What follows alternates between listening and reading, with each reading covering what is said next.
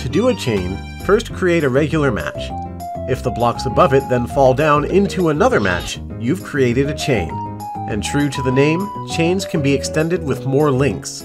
So if you have more blocks on top of your first chain link, they can fall and create a third chain link, and then a fourth, and then a fifth, and so on and so forth for as long as you can make it happen.